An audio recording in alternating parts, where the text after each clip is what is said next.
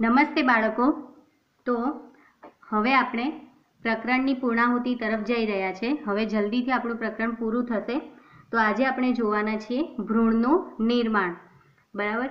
ભ્રૂણનું નિર્માણ. આપણે ગયા લેક્ચરમાં જ્યાં અટક્યા હતા અને અને પછી આગળ આપણે જોવાનું હતું કે ભ્રૂણપોષનું નિર્માણ જે જોતા હતા, એમાં થોડીક વાત રહી ગઈ હતી કે આપણું જે નાળિયેર છે, તેમાં રહેલું જે પાણી છે નાળિયેરમાં રહેલું જે પાણી, કાચા નાળિયેરમાં જે આપણે પાણી પીએ છીએ, તે પાણી મુક્ત કોષ કેન્દ્રીય ભ્રૂણપોષ છે. બાળકો, ધ્યાનથી યાદ રાખો ભ્રૂણપોષ એટલે ભ્રૂણને પોષણ આપવાવાળું જે દ્રવ્ય છે, જે કોષોનો જથ્થો છે, તેને આપણે ભ્રૂણપોષ કહીએ છીએ. આપણે જોયું હતું કે ભ્રૂણપોષ ત્રણ પ્રકારના હોઈ શકે છે, કોષીય કોષ કેન્દ્રીય અને હેલોબિયલ બરાબર? તો નાળિયેરમાં એક એવું છે કે નાળિયેરમાં આપણને બંને પ્રકારના ભ્રૂણપોષ જોવા મળે છે. કેવા? તો મુક્ત કોષ કેન્દ્રીય પણ જોવા મળે છે અને હેલોબિયલ પણ જોવા એટલે સોરી કોષીય પણ જોવા મળે છે અને કોષ કેન્દ્રીય પણ જોવા મળે છે. એટલે આપણે એને હેલોબિયલ કહીએ છીએ. એટલે કે કાચા નાળિયેરમાં જે મુક્ત જે પાણી છે તે મુક્ત કોષ કેન્દ્રીય ભ્રૂણપોષ છે. પરંતુ તેની આજુબાજુ જે પેલો સફેદ કલરનો, જે આપણે ઘણીવાર ખાતા હોઈએ છીએ પ્રસાદીમાં નાળિયેર જે કોપરું કહીએ છીએ સાદી ભાષામાં, તે જે કોપરું છે તે એટલે કે આપણે એમ કહીએ કે એનો જે ઘર ઘર કહો અથવા તો માવો કહો, સફેદ કલરનો જે હોય છે, તમને સમજ પડી ગઈ હશે, સફેદ ઘર અને માવો જે હોય છે તે તે શું છે? તો તે જે છે તે કોષીય ભ્રૂણપોષ છે, કોષીય ભ્રૂણપોષ તો તમે જોઈ શકો છો કે નાળિયેરમાં બંને પ્રકારના ભ્રૂણપોષ જોવા મળે છે. એક જે જોવા મળે છે તે મુક્ત કોષ કેન્દ્રીય ભ્રૂણપોષ છે અને બીજું જે જોવા મળે છે તે કોષીય ભ્રૂણપોષ છે. એનો અર્થ કે આ બંને જોવા મળે છે જેને આપણે હેલોબિયલ પ્રકારનું કહીશું. કેટલાક ફળમાં માત્ર કોષ કેન્દ્રીય ભ્રૂણપોષ હશે, કેટલાક બીજમાં માત્ર કોષીય ભ્રૂણપોષ, કેટલાક બીજમાં કોષ કેન્દ્રીય, તો કેટલાક બીજમાં કોષીય ભ્રૂણપોષ અને કેટલાકમાં હેલોબિયલ એટલે કે આ બંને હાજર હોય છે, એનું તેનું ઉદાહરણ આપણે જોયું, નાળિયેર, બરાબર? તો આગળ વધીએ, ભ્રૂણનું નિર્માણ. ભ્રૂણના નિર્માણમાં આપણે જોવાનું છે કે ભ્રૂણનું જે નિર્માણ થાય છે, એ ક્યારે શરૂ થાય છે? તો ભ્રૂણના નિર્માણની શરૂઆત ત્યારે થશે જ્યારે આવશ્યક જથ્થામાં, જ્યારે આવશ્યક જથ્થામાં ભ્રૂણપોષનું નિર્માણ થઈ જાય. જ્યારે આવશ્યક જથ્થામાં ભ્રૂણપોષનું નિર્માણ થઈ જાય છે. બરાબર ત્યારબાદ શરૂ થવાનું છે આપણા યુગમનજનું વિભાજન. ત્યાં સુધી તે યુગમનજ જ રહેશે. એનો અર્થ એ થયો કે યુગ મનજના વિભાજનની શરૂઆત ત્યારે થશે જ્યારે ભ્રૂણપોષનું નિર્માણ થઈ જાય આવશ્યક જથ્થામાં. તો વિકસતા ભ્રૂણને, જે ભ્રૂણનો વિકાસ થવાનો છે, તેને પોષણ પૂરું પાડવા માટેનું આ એક અનુકૂલન તમે જોઈ શકો છો કે વનસ્પતિ એક અનુકૂલન સ્થાપિત કર્યું છે કે જેમાં ભ્રૂણને પોષણ આપવા માટે તે આવશ્યક જથ્થામાં ભ્રૂણપોષનું નિર્માણ કરી લે છે અને ત્યારબાદ જ યુગ્મનજનો વિકાસની શરૂઆત થાય છે. યુગ્મનજ કેવું હતું? બાળકો, યાદ છે ને? દ્વિકીય યુગ્મનજ હોય છે. બરાબર? તો અંડક છિદ્ર નજીક આ યુગ્મનજ હતું. જેનું જેનું નિર્માણ કેવી રીતે થાય છે યુગમનજનું? અંડકોષ સાથે એક નરજન્યુનું ફલન થવાથી આપણું યુગ્મનજનું નિર્માણ થાય છે. બરાબર? તો આ એક અનુકૂલન છે. બીજ તો વિવિધ જાતના હોય છે. જે ફળ, જે વનસ્પતિના જેવા ફળ તેની અંદર એવું બીજ, એટલે કે બીજ અલગ અલગ હોય છે. પણ આપણે ખાસ કરીને અગિયારમાં ભણ્યા છીએ. એક દળી દ્વિ, બીજ દ્વિદળી બીજ. તો બંનેમાં આપણે જોઈએ તો તેમાં ભ્રૂણ વિકાસની પ્રારંભિક અવસ્થાઓ તો મોટાભાગે સમાન હોય છે. તો આપણે બીજ જોઈ લઈએ. બીજની વાત કરીએ છીએ કે બીજ વિવિધ હોય છે. પરંતુ બીજ આપણા બે પ્રકારના. એક જોઈએ એક દળી બીજ કે જેમાં એક જ બીજપત્ર જોવા મળે અને દ્વિદળી બીજ જેમાં બે બીજપત્ર જોવા મળે. બરાબર? તો એક દળી અને દ્વિદળી બીજમાં ભ્રૂણ વિકાસની ભ્રૂણ વિકાસની પ્રારંભિક અવસ્થાઓ. બાળકો, પ્રારંભિક એટલે શરૂઆતની અવસ્થાઓ તો કેવી જોવા મળે છે? સમાન. પ્રારંભિક અવસ્થાઓ સમાન હોય છે. બરાબર? પરંતુ આપણે જોઈએ, અહીં આપણી પુસ્તકમાં જે આપેલું છે, દ્વિદળી બીજ જે આપેલું છે, તેના ભ્રૂણમાં ભ્રૂણજનનની અવસ્થા આપણે જોઈએ, દ્વિદળી બીજમાં. જેને કેપ્સેલા કેપ્સેલા કહેવાય છે. બરાબર? ઘણીવાર શબ્દ આવશે તો તમને ભૂલ ન પડે. બરાબર? તો તેમાં ભ્રૂણ જનનની અવસ્થા. ભ્રૂણ જનન. યાદ કરો, જનન એટલે નિર્માણ થવું. કોનું નિર્માણ થવું? ભ્રૂણનું. તેને આપણે ભ્રૂણ જનન કહીશું. તમને વ્યાખ્યા પૂછાય તો આવડવી જોઈએ. બરાબર? ફલન બાદ ભ્રૂણના નિર્માણની પ્રક્રિયાને ભ્રૂણ જનન કહે છે. તેની અવસ્થાઓ, ચલો આપણે એની અવસ્થાઓ જોઈ લઈએ. તો કઈ કઈ અવસ્થાઓ આવે છે? અવસ્થાઓ. સૌથી પહેલાં એવું થશે, પૂર્વ ભ્રૂણ વિકસશે.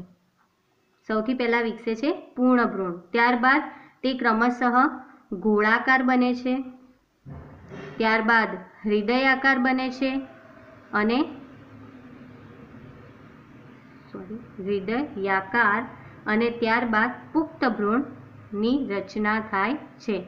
પુખ્ત ભ્રૂણમાં પરિણમે છે. તો આ છે દ્વિદળીમાં ભ્રૂણજનનની અવસ્થાઓ. સૌપ્રથમ ભ્રૂણ, પૂર્વ ભ્રૂણ, એ ગોળાકાર બને, હૃદયાકાર બને. પૂર્વ ભ્રૂણમાં વિકાસ, પુખ્ત ભ્રૂણમાં વિકાસ પામે છે.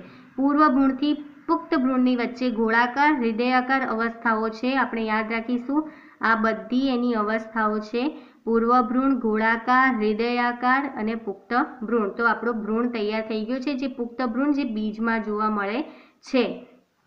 તો આપણે જોઈ લઈએ કે આપણી પાસે જે લાક્ષણિક દ્વિદળીય ભ્રૂણ છે તે કેવું હોય છે? લાક્ષણિક દ્વિદળીય ભ્રૂણ.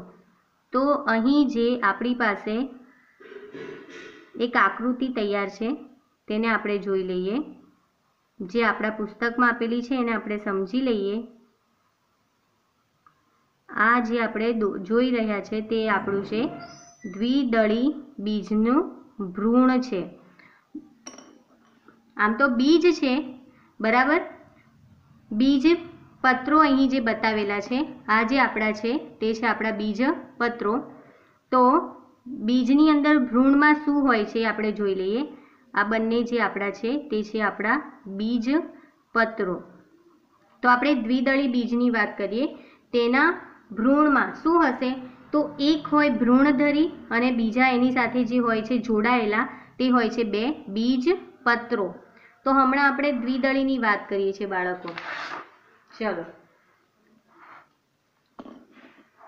આપણે વાત કરી રહ્યા છીએ લાક્ષણિક, દ્વિદળી, ભ્રૂણની, કે જેની અંદર શું જોવા મળશે? તો એક હોય છે ભ્રૂણધરી. અને તેની સાથે હોય છે બે બીજ પત્રો બરાબર? તો તમને આટલો ખ્યાલ આવી ગયો? દ્વિદળીની ભ્રૂણ, દ્વિદળી જે લાક્ષણિક દ્વિદળી આપણું ભ્રૂણ છે, તેની અંદર એક ભ્રૂણધરી અને બીજું જોવા મળશે બે બીજપત્રો તેની સાથે જોડાયેલા. બીજપત્રો ઉપર જે આપણને આ ભ્રૂણધરી જોવા મળે છે, તે ભ્રૂણધરીમાં જોઈએ તો એક વિસ્તાર હોય છે, ઉપરાક્ષ. એક વિસ્તાર હોય છે ઉપરાક્ષ અને બીજો હોય છે અધરાક્ષ. ઉપરાક્ષ અને અધરાક્ષ. બાળકો, ધ્યાન આપજો. ઉપરાક્ષ અને અધરાક્ષ. તો ઉપરાક્ષમાં શું હોય છે? તો ઉપરાક્ષ જે આપણું છે તે શું બનશે?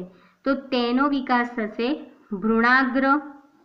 આપણે અગિયારમાં જોઈ ગયા છે તેનો વિકાસ થશે ભૃણાગ્ર. અથવા તો એને કહીશું આદિ સ્કંધ અથવા તો તેને કહીશું પ્રકાંડાગ્ર.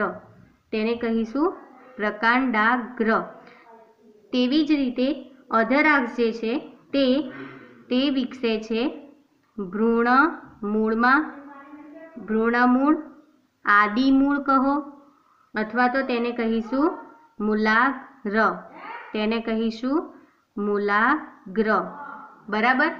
તો આ જે આપણું છે ઉપરાક્ષ તે પરિણમે છે ભ્રૂણાગ્રહ અથવા આદિસ્કંદ અથવા પ્રકાંડાગ્રમાં અને અધરાક્ષ જે પરિણમે છે તે ભ્રૂણમૂળ, આદિમૂળ અથવા તો મૂલાગ્રમાં પરિણમે છે. બરાબર? તો મૂળના ટોચ પર આપણે ભણી ગયા છે મૂળની લાક્ષણિક રચના. તેના ટોચ ઉપર શું જોવા મળે છે આપણને? તો મૂળ ટોપ જોવા મળે છે. તે મૂળ ટોપથી આવૃત હોય છે. મૂળ ટોપથી આવૃત જોવા મળે છે. મૂળનો જે ટોચનો ભાગ હોય છે તેની ઉપર જે રક્ષણાત્મક આવરણ હોય છે, તેને કહીએ છીએ મૂળ ટોપ. તેને કહીએ છીએ મૂળ ટોપ જે મૂલાગ્રના ટોચના ભાગે, મૂલાગ્ર એટલે મૂળનો ટોચનો જ ભાગ, પણ તેનું રક્ષણ કરવા માટે તેની ઉપર મૂળ ટોપ જોવા મળે છે. તે આપણે અહીં દ્વિદળીમાં જોઈએ. આપણે આકૃતિમાં એને સમજી શકીશું કે આપણું આ જે ભાગ છે એકચ્યુઅલી જે ઉપરાક્ષ છે, એ ઉપરાક્ષ અહીંયા જે બતાવેલું છે આપણને આકૃતિમાં, આ છે આપણો ભ્રૂણાગ્રનો ભાગ. ભ્રૂણાગ્ર. જે ઉપરાક્ષ ભ્રૂણાગ્રમાં પરિણમે છે તેવી રીતે આજે આખો અધરાક્ષ છે. આ જે અધરાક્ષ છે. તે અધરાક્ષમાં આપણે અહીં જોઈ શકીએ છીએ કે આ છે આપણું ભ્રૂણ મૂળ બાળકો, સમજ પડે છે તમને આ છે આપણું ભ્રૂણ મૂળ અને આ છે આપણો મૂળ તો એટલે કે ભ્રૂણ મૂળના રક્ષણ માટે પણ શું હોય છે?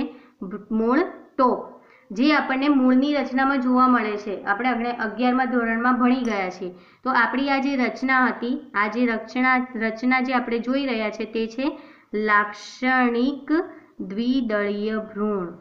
આ જે આપણી રચના છે તે છે લાક્ષણિક દ્વિદળીય ભ્રૂણની રચના.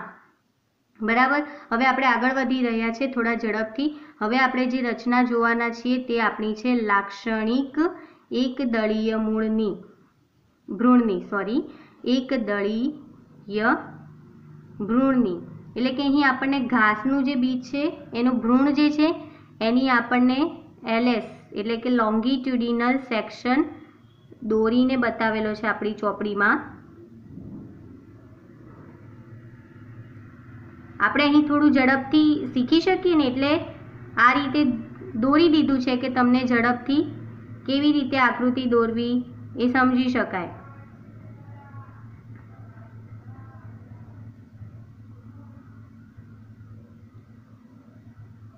તો આપણો આ જે છે તે આપણો છે એક દળીય ભ્રૂણ.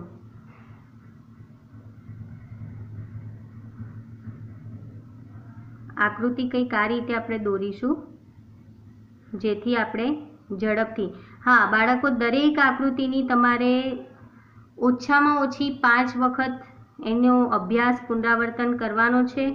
સમય સાથે પુનરાવર્તન કરીશું કે જેથી આપણને એની સારામાં સારી પ્રેક્ટિસ થઈ જાય કે જ્યારે આપણે દોરવાની આવે આકૃતિ પરીક્ષામાં, તો આપણે એને ઝડપથી દોરી શકીએ. બરાબર? તો આપણે ધ્યાનપૂર્વક દરેક આકૃતિનું પાંચ વાર પુનરાવર્તન કરીશું પ્રેક્ટિસ કરીશું એની, કે જેથી આપણને પરીક્ષામાં ઝડપથી લખી શકાય. કારણ કે આપણું પેપર લખવામાં થોડી વાર લાગે. તો આપણે જોઈએ એક દળીના ભ્રૂણમાં આ એક આપણને જોવા મળે છે, જેનું નામ છે વરુથિકા. વરુથિકા, પછી તમે જોઈ શકો છો આ બાર જે આ ભાગ છે, એ બંને છે, જેનું નામ છે ભ્રૂણાગ્ર ચોલ એટલે એક દળીના બીજમાં ખાસ કરીને આ વસ્તુ જોવા મળે છે ભ્રૂણાગ્ર ચોલ. અહીં તમે જોઈ શકો છો, આ જે છે આપણું તે છે પ્રરોહાગ્ર, જેને ભ્રૂણાગ્ર પણ કહી શકીએ આપણે. બરાબર? તેવી રીતે આ જે આપણું છે ઉપરી ભ્રૂણાવરણ છે, ઉપરી ભ્રૂણનું આવરણ ભ્રૂણાવરણ તે જ રીતે આગળ આપણે જોઈએ તો આ જે છે, આ જે છે આપણે જોઈએ તે છે આપણું આ ભ્રૂણ મૂળ. આ છે ભ્રૂણ મૂળ. પછી તમે આ જોઈ શકો છો, આ છે મૂળ ટોપ અને આ બંનેની રક્ષણ માટે પણ હજી આગળ એક છે, જેને આપણે કહીશું ભ્રૂણ મૂળ ચોલ. તો બાળકો, સરસ મજાની આકૃતિ તમારે આવી રીતે તૈયાર કરી લેવાની છે અને તમે જોઈ શકો છો, અહીં એક દળીના ભ્રૂણમાં માત્ર એક જ બીજપત્ર છે અને ઘાસના કુળમાં આવેલ બીજપત્રનું નામ આપણને કહેલું છે વરુથિકા અને ભ્રૂણધરીની એ એક જ બાજુ ગોઠવાયેલું છે. એટલે આ આખી ભ્રૂણધરી છે અને એની એક આ એક બાજુ. તમે સમજી શકો છો, આ છે ભ્રૂણની ધરી, આ છે જે આ આપણી ભ્રૂણની ધરી અને તેની એક બાજુ જે બીજપત્ર આવેલું છે તેને કહીએ છીએ વરુથિકા અત્યાર સુધી આપણે અગિયારમા ધોરણમાં એક દળીમાં આપણે મકાઈના બીજનું પણ જોયું હતું. અહીં આપણે આ ઘાસના બીજ ભ્રૂણની રચના જોઈ છે. તો અહીં જે આપણને જોવા મળે છે આ ભ્રૂણાગ્ર ચોલ, પ્રરોહાગ્ર, બરાબર? તો ભ્રૂણધરી એટલે ભ્રૂણાગ્રની રક્ષણ માટેનું જે પત્ર છે, જે અહીંયા ફોલ્ડેડ ફોલ્ડેડ મતલબ બહુ જ ઘણા બધા આવરણ ઘણા બધા પત્ર હોય છે. તો પ્રરોહાગ્રના રક્ષણ માટે ભ્રૂણાગ્ર ચોલ છે, એટલે એને ભ્રૂણાગ્ર પણ કહેવાય, આદિસ્કંદ પણ કહેવાય, તે તેવી રીતે ભ્રૂણ મૂળના રક્ષણ માટે અહીં ભ્રૂણ મૂળ ચોલ આવેલું છે. બરાબર? તો આ જે વરુથિકાના સાથેનો આ જે ભ્રૂણાગ્ર અને પ્રરોહાગ્રનો આટલો ઉપરનો ભાગ છે, તેને આપણે ઉપરાક્ષ કહી શકીએ.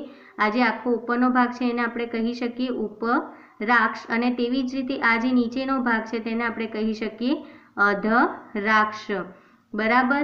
તો તમે આ રચના સારી રીતે સમજી ગયા છો ભ્રૂણની. આપણે દ્વિદળી ભ્રૂણ અને આ એકદળી ભ્રૂણ બંનેની રચના જોઈ લીધી છે. હવે એક વાત કહેવાની છે, આપણે બાળકો ફટાફટ જોઈ લઈએ કે જો તમારે આ રચનાઓ જો તમારે વિસ્તૃત રીતે ભણવી હોય, તો તમે બધા મને જણાવજો કોમેન્ટ બોક્સમાં લખીને કે અમારે આ રચના ભણવી છે.